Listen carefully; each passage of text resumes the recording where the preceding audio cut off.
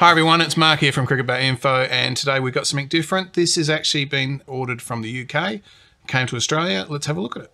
So thank you very much to Locky for sending this in. He's from country South Australia, and he actually bought this bat through Pro Direct Cricket, and he paid $395 delivered. What I've actually done, just to help things along, is I've just gone to the website to have a look at it. So this is the Gray Nicolls UK website and you can see there 300 pounds which is about $500 um, so he's got this delivered for uh, at least $100 under that. So it describes this uh, as cricketers club cricketers looking for power this summer. Exaggerated middle huge edges blah blah blah.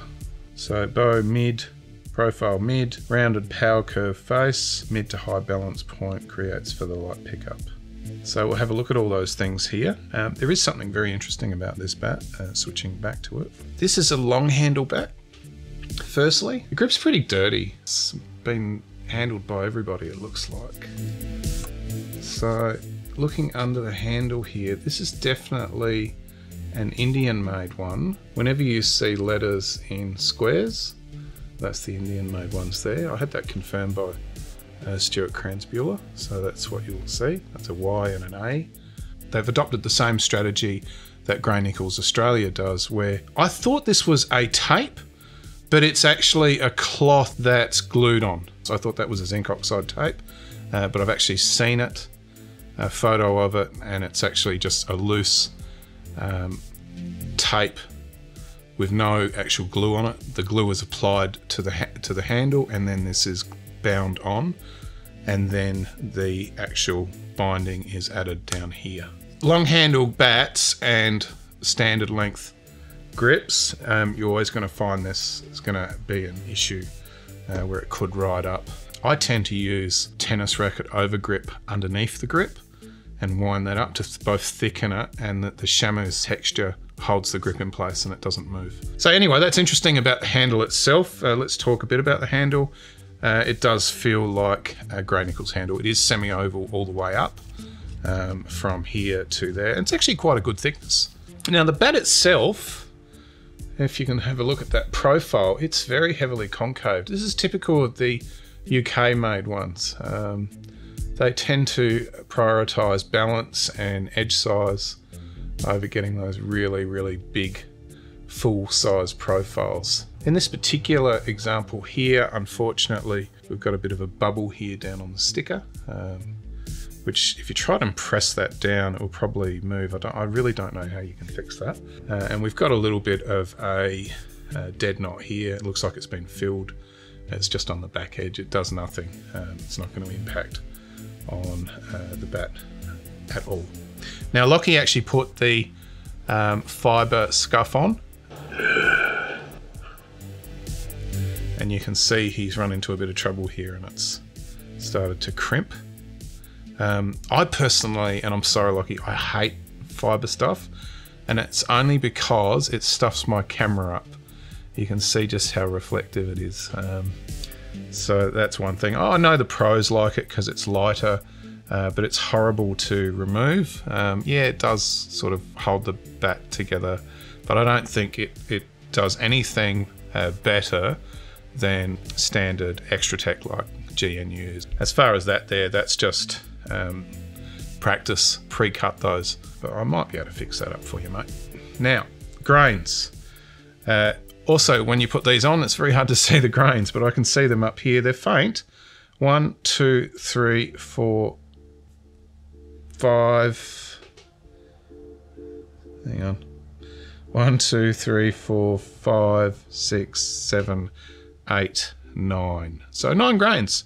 And they are pretty straight down through. You can see a little bit of a pin knot here. And I cannot see what's going on under here, whether that's a little bit of darkness. I find that the um, Indian made ones, the finishing it just isn't as good. I, I, like I've been whinging a bit about the Australian made finishing. It doesn't seem to me to be uh, as nice looking as what I've seen. Now, unfortunately, in its travel, it's got a little bit of a dip thing that's happened here that's been bashed around on its way to Australia. I did confirm that with Locky. I might be able to steam that out, so I'll see if I can fix that up for you. and we've got a little bit of a dent in the shop. Um, so I'm not sure about this bat, whether this was last season's, because I know they've got a Gen 1.1 now. So this, this might be last season's bat, and it's just been sitting on the shelves and everybody's handled it and put it back down and, and uh, yeah, you've got it on special. Bow. It says there's a bow. Let's confirm that. We'll hold it that way. There's definitely bow in the bat. And they call it a mid bow. Yeah, I suppose. Yeah, I reckon it starts about there. So that's that. Let's put the gauge on it. So it's not filling the gauge. It's probably about 62 centimeters. And it does seem to be wide uh, as wide as the gauge. So I don't think there's any width issues with it. As far as the concaving in the bat, well, you've seen this on CAs and uh, other bats for years, and it just adds balance. I've, I have actually, I actually think there's nothing wrong with it.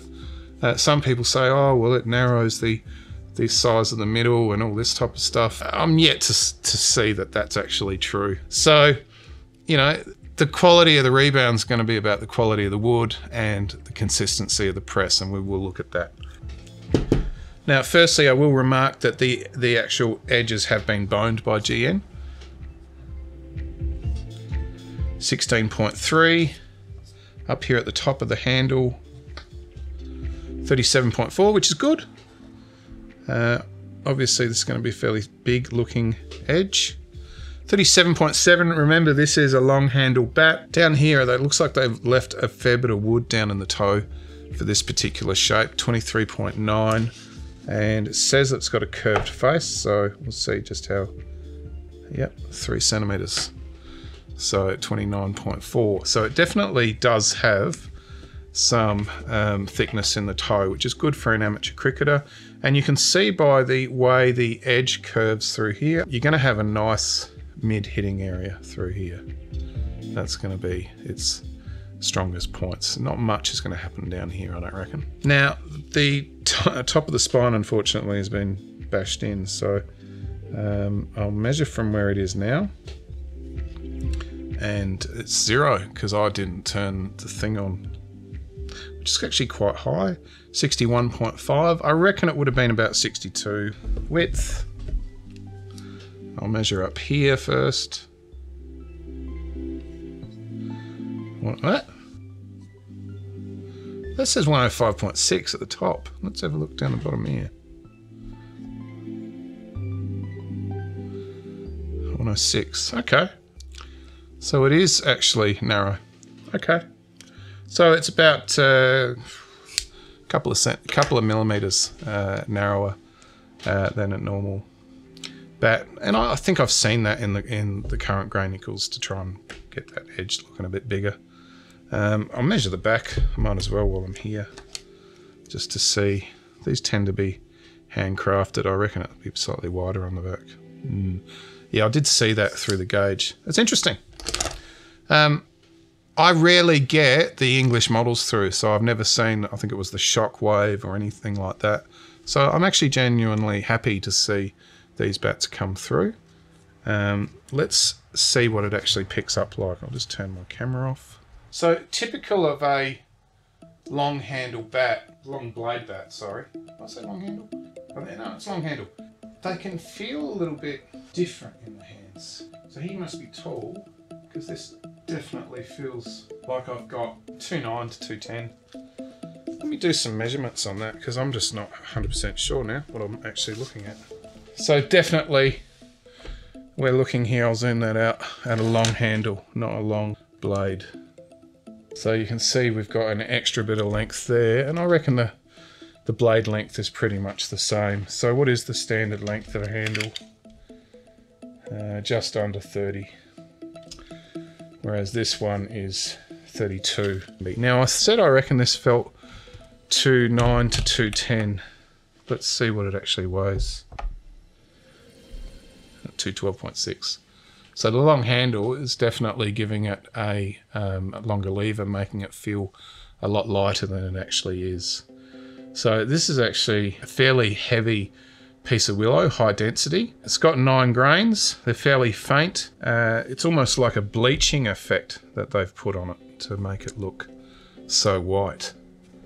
Um, it's interesting. I, I, probably would have oiled it before I uh, put the scuff on to, to bring sort of more character out in that wood. How does it actually tap up like? Let's move all this out of the way.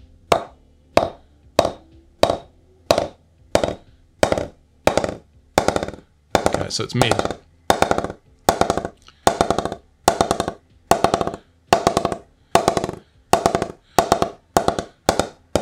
So around there is its hitting area.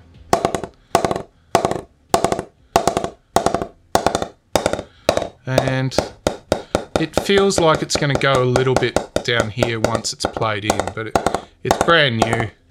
Um, I would actually recommend Locky get rid of this and oil it and knock it in properly and you'll get a lot more life out of it, but everyone's different. It feels a bit, bit hollowy and I think that's to do with the concaving. It just sort of gives it that hollowy tone you've got there. So interesting. But yeah, thank you very much, Locky, for sending that in. He's posted that in and his own thing. I'm going to do a little bit of a clean up on there for him to say thank you. And, uh, we'll see if that goes back with that same scuff sheet. May not. I'm not sure. It's really excellent that I get supported by you, the viewers, sending in the bats. Uh, you're paying that transportation thing, and I do appreciate that. This has been Cricket Bat Info, and we'll have more cricket bats coming at you over the next few months. And uh, I hope you stick around and do subscribe if you want to see more. Thank you very much, and we'll see you on the next one.